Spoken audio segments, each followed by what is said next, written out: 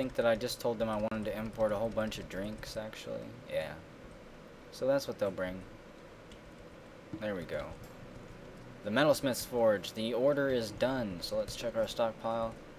I want to check on these coins before we leave here. Where are you going? Come back, coins. Coffins, cloth, cut gems, blocks, cages, boxes. Is it by... Where is it? Damn it. I'm blind today. There we go. Adamantine. 322 Telesterdum adamantine coins.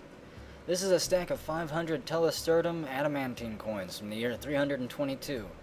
This is the adamantine currency of Telesterdum. On the front of the coin is an image of abandoned monasteries, and on the coin's back is a finely designed image of End Bendigali, the Aspid Dwarf and Dwarves. Id Bengali is surrounded by the dwarves. The artwork relates to the ascension of the Aspid Dwarf Id Bengali to the position of king of the Infallible Towers in 124. Well, we don't have a king right now, unfortunately, our empire. We're just led by a queen, so I wonder what happened to Id. Maybe we should make some engravings and see if we can find out. There's the noble and our, his noble baby.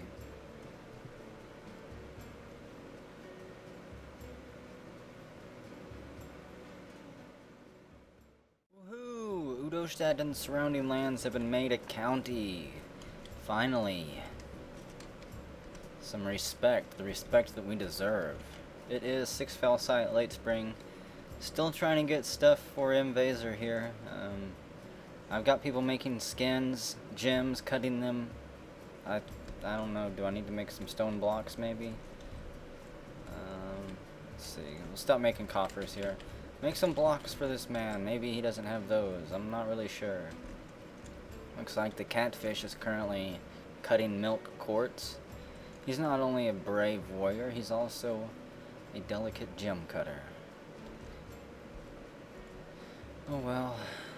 We will see, um, I guess if we get any benefits for being made a county. Otherwise, I guess it's nice to have a new title. Did that change here? City, Udoshushat. Min basements. We've been upgraded to a city then.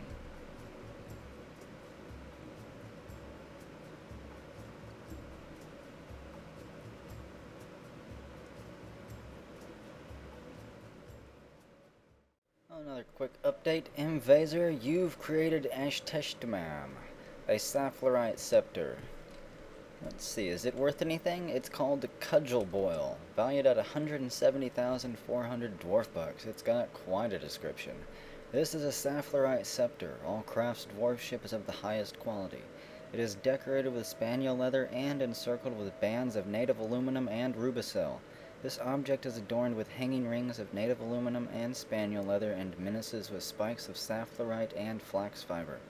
On the item is an image of dwarves in red zircon. The dwarves are laboring. The artwork relates to the foundation of men basements by the Fountain of Permiances of the Infallible Towers in the early spring of 315. On the item is an image of Joku Seas Crowns, the Nord in Arachna silk. Joku Seas Crowns is traveling. The artwork relates to the journey of the Nord Joku to the Hill of Coils in 18 during the journey of Nord Joku Seas Crowns.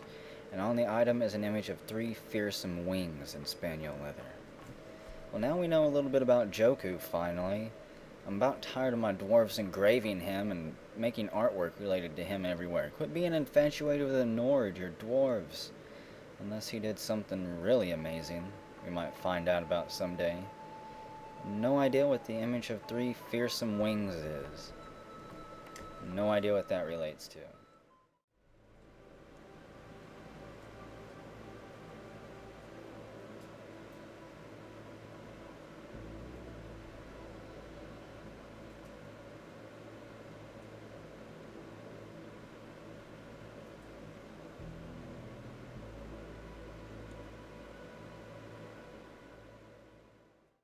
Gosh, a harpy has shown up for the first time in ages. And DJ Lapio just chopped it in half pretty much instantly. I think.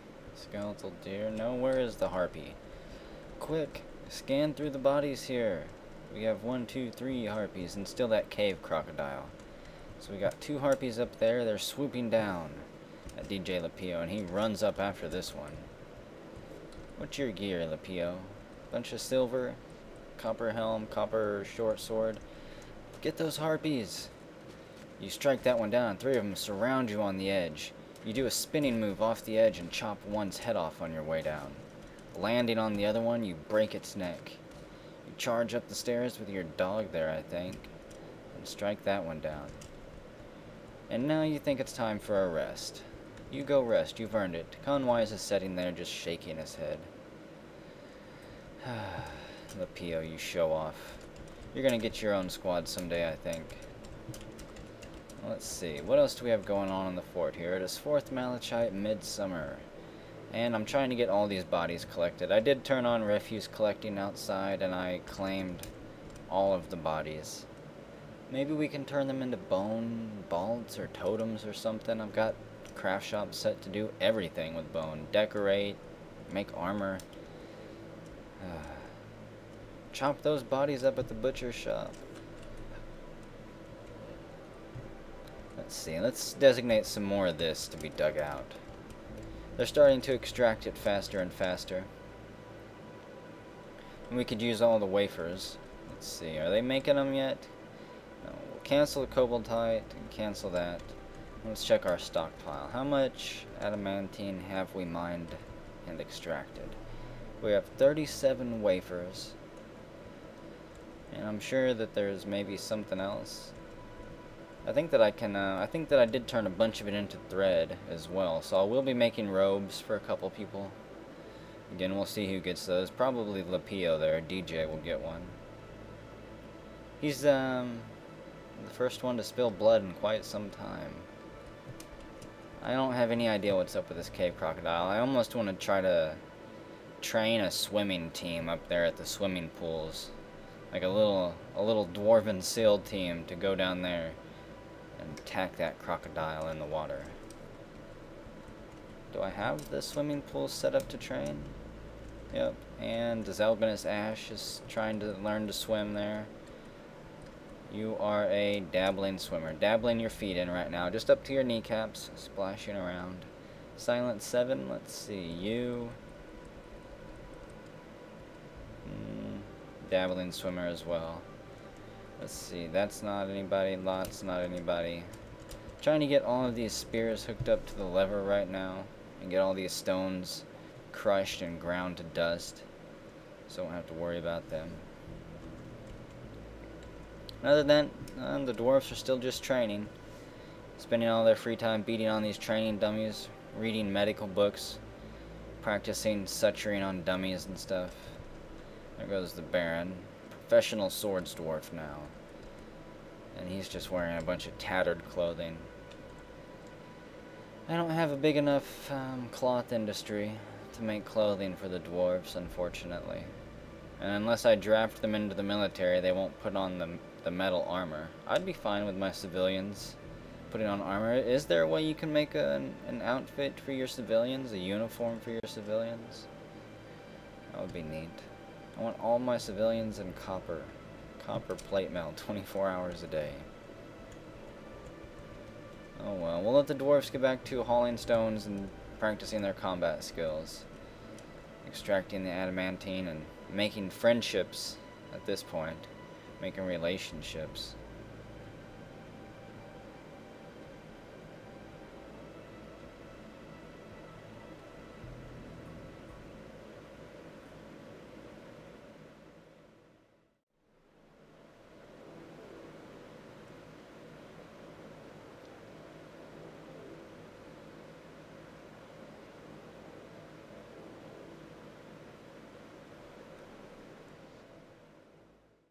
God. Box McCloud, you just went insane for some reason. I have no idea why. Maybe you were... I don't think you were having a mood. I don't remember you being in a mood. But you've went berserk. Let's, let's see what's going on with you. You're about ready to start killing people. Ultros is right next to you and a bunch of war dogs. I can't check your skills. Your inventory is copper, copper, copper, copper short sword, a lead flask. Maybe the lead flask is driving you crazy, it finally poisoned you, you lunge at the war dog. slashing it. It bites on, the one behind grabs onto your leg and begins pulling you backwards. Looks like somebody showed up. Mean Melter shows up. I think you're in the middle of a equipment change as well. There goes Dundee. He's off duty apparently. Mean Melter charges after him. Somebody else shows up. TK421 is at his post. Daedric Dwarf. Our legendary armor smith. Get him! And Box McCloud has bled to death. They finally strike him down. The recruit strikes the recruit in the lower body from the side with his copper buckler, bruising the muscle and bruising the stomach. Can I see how you died? Looks like they might have just bludgeoned you to death or something. Oh well, we'll claim all your stuff, Box McCloud. Hopefully you get to rest in peace. We'll bury you in a lead coffin as well. Looks like you hurt a couple war dogs. That dog's unconscious, you beat him down. That dog is beat up and winded. This dog is nauseous. He's gonna be fine though. Mean Melter's not hurt. And the cucked. Oh, who was that? Was that TK? TK421? I think it was. Let me see real quick. Looks like TK421 got a, a name change for that. I don't see I don't see that name, so yep, it must be him. Kills. Sabrek Orb Puzzle, the Shroom Dwarfette in 322. Ah. Dwarf Slayer. It had to be done before someone innocent got hurt.